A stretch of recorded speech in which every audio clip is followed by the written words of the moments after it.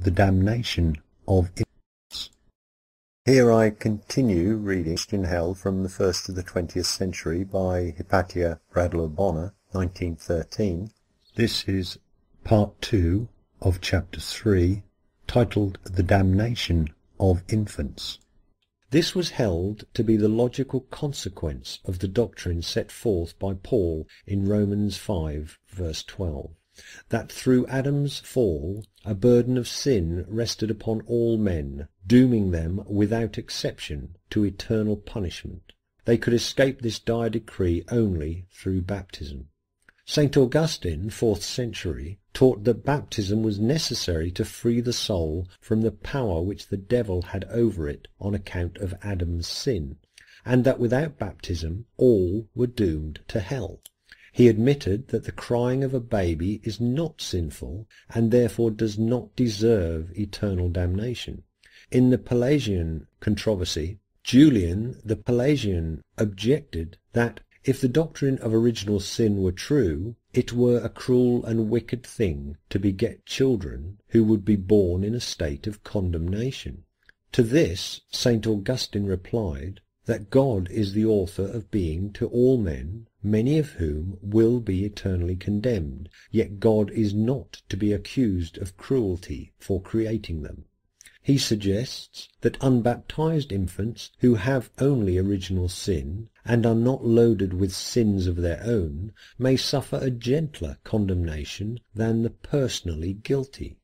Elsewhere in the same controversy he takes a less merciful view, saying, I have explained to you what is the kingdom and what everlasting fire, so that when you confess the infant will not be in the kingdom, you must acknowledge he will be in everlasting fire.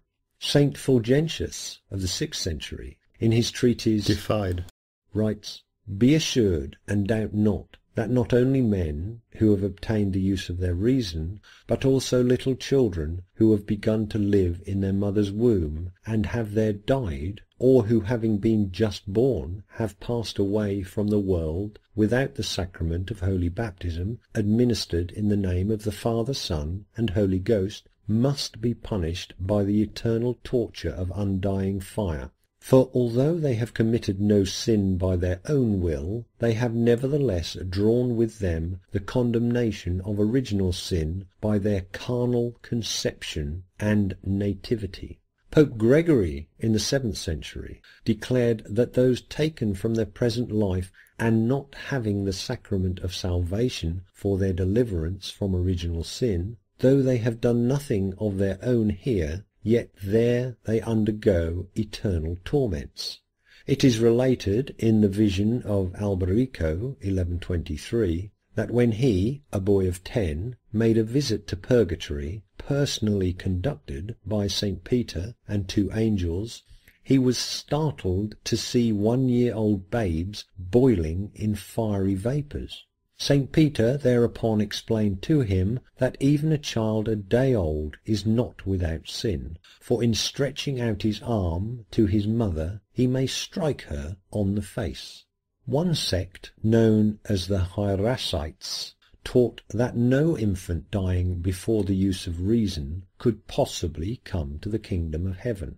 They held that marriage and begetting children was unlawful under the New Testament, and no married persons could inherit the kingdom of God.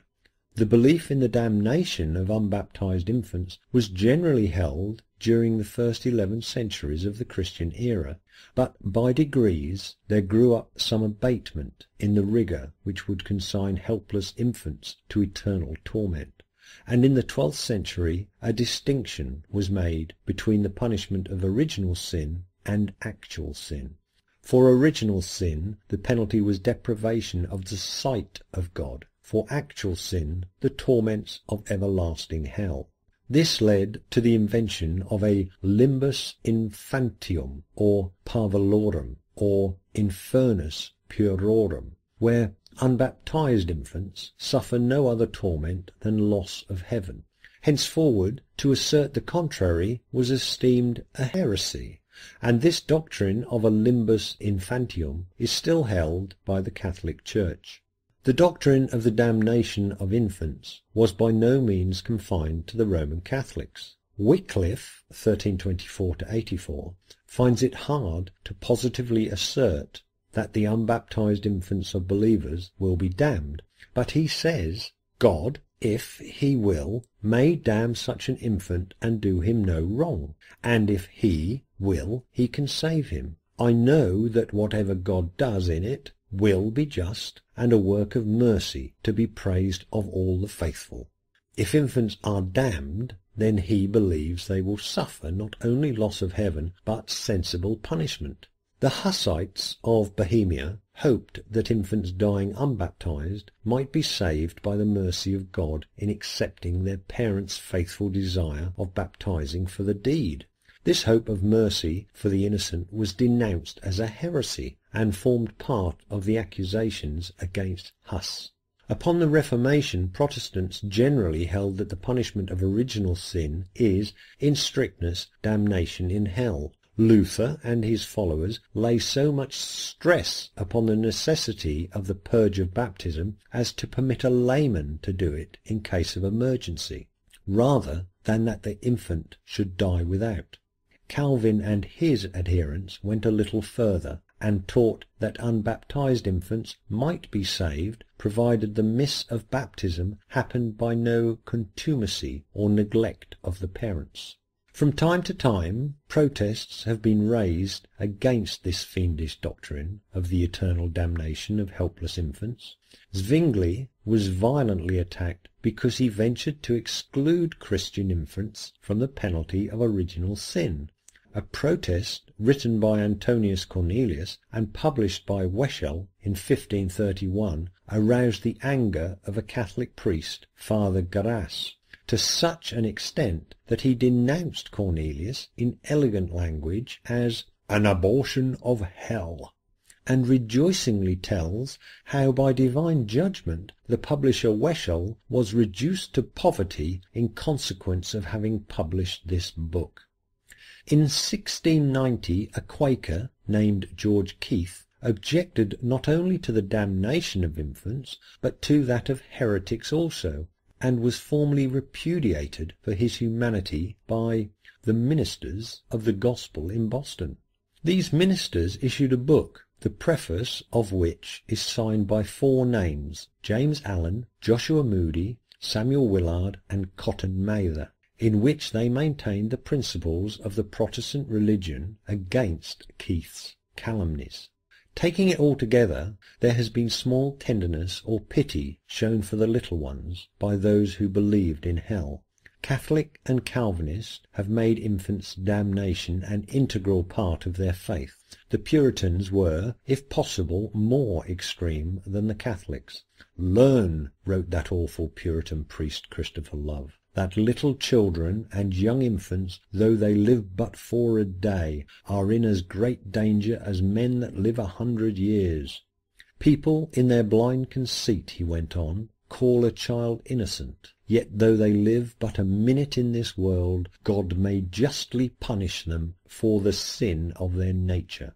The Bishop of Toronto, in the middle of last century, published a declaration that every child of humanity, except the Virgin Mary, is from the first moment of conception a child of wrath, hated by the blessed Trinity, belonging to Satan, and doomed to hell while the Reverend Dr. Nehemiah Adams, a Congregational preacher of Boston, contemporary with the bishop, had no hesitation in suggesting that the forty-two children that mocked Elisha are now in hell for calling Elisha baldhead. The children are first devoured by she-bears and then consigned to everlasting torment. Dr. Nathaniel Emmons, pastor of Franklin Church, Massachusetts, in a long sermon on the depravity of children, contended that little children are moral agents before they are capable of uttering a single word. Hence they are capable of sinning. They are, for example, capable of selfishness.